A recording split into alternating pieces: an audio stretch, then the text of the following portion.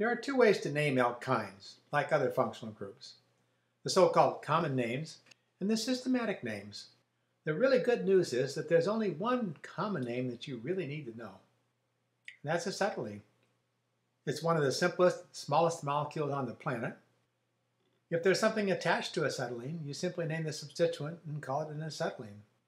Bromoacetylene is an example. Vinyl acetylene is another example.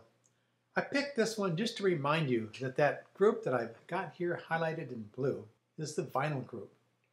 It's ethylene missing a hydrogen. So we have vinyl acetylene.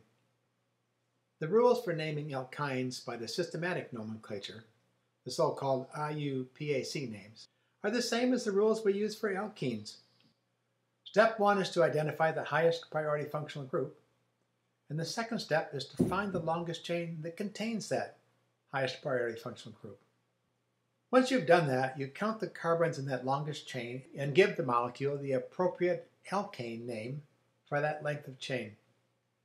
Then you change the end of that alkane name to designate the functional groups that are in the molecule. You put the highest priority functional group last. There's a special little wrinkle for alkynes about this that I'll get to. Once you've done all that, you identify any substituents that are attached to that longest chain. You name them and place them at the front of the name in alphabetical order. Then you need to number the chain so you can use those numbers to designate where the substituents are and where the functional groups are. Then you place the numbers in front of the functional groups and the substituents to show where they are. And finally, if there are any stereochemical designations that need to be made, you put them way in front of the molecule so let's look at a few examples and get some practice. Here's a structure I've drawn using the bond line approach.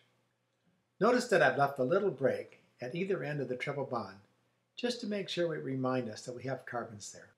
And in fact, in any case, I like to go through and put dots where the carbons are, just to make sure we get them all counted right. The highest priority functional group is the triple bond. There's a five carbon chain that contains the triple bond. So the alkane name for this five carbon chain would be pentane, and we need to change that ANE to YNE to tell us it's an alkyne. There are no substituents to identify, so we can go straight to numbering the carbon chain. We'll number from the end that's closest to the alkyne, and put the number of the alkyne carbon that's closest to the end in front of the name. There's no more to do. We're done. This is 2-pentyne. Here's an alkyne that has a substituent. We first need to identify that the alkyne is the highest priority functional group. Of course it is.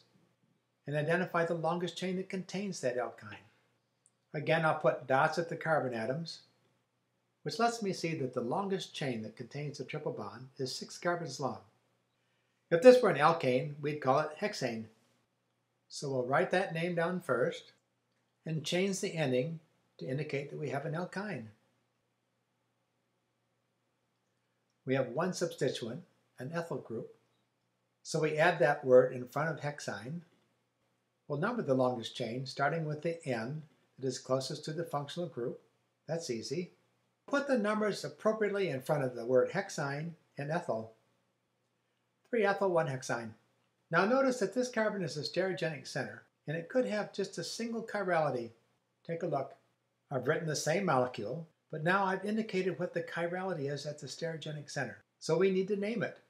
This molecule has exactly the same name with an R or S stereochemical designation out in front.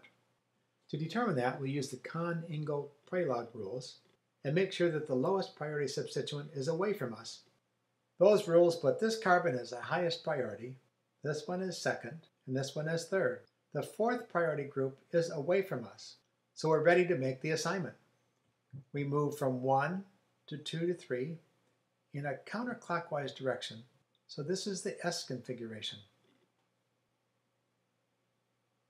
Take a look at this example. Now we have two functional groups, an alkene and an alkyne. I've picked those to illustrate an important point. We number from the end of the chain that gets us to either of the functional groups the quickest. In this case, if we number from the left, we get to a functional group as carbon number 2. But if we number from the right, it's carbon number 3 before we get to a functional group. So we'll number from the left, and if this were an alkane, we call it heptane. we need to replace the A and E of heptane with an yne and with an ene. And the rule is you always write the ene first and then yne after that. And you can see I left places for the numbers. This is a 4 ene and a 2 yne, hept 4 ene 2 yne. If we had one less carbon, the situation is slightly different. Now we can number from either end and get to a functional group with number 2. In a case like this, where there's a tie, we number from the end that's closest to the alkene. There are six carbons in the longest chain, so this would be a hexane if it were an alkane. And we need to change the ane of the hexane to indicate that it's an ene-yne. Again, the yne is at the end of the name, regardless of the numbering. And then we'll put the numbers in. This structure is hex 2-ene 4-yne. Now notice that this double bond could have stereochemistry that's shown. Just for practice, let me draw out a structure that shows the stereochemistry of the alkene portion of the molecule. This structure has the same systematic name as the structure above, except now it needs a stereochemical designator. We'll assign E or Z to the stereochemistry of that alkene double bond. To do that, we'll look at the left-hand alkene carbon and circle the highest priority group that's attached to it. And then we'll look at the right-hand alkene carbon and circle the highest priority group that's attached to it. These groups are on opposite sides of the double bond, so the stereochemistry is E, which we'll put in front of this name. And finally, let's look at one more example. I wanted to illustrate the use of the acetylenic group as a substituent. When these carbons that I've highlighted in blue are a substituent, it's the ethynyl group. The alkene is a cyclohexadiene, and we start numbering at one end of the diene and number all four carbons. I picked this carbon as number one, so the substituent has the lowest number. The alkane here would be cyclohexane, and we need to change that indicate that it's a cyclohexadiene. There are two double bonds in the ring. And then we need to put the ethynyl substituent name in the front. And finally, assign appropriate numbers. 2-ethynyl, 1,3-cyclohexadiene. When you apply these eight rules systematically, you can unequivocally name any alkyne.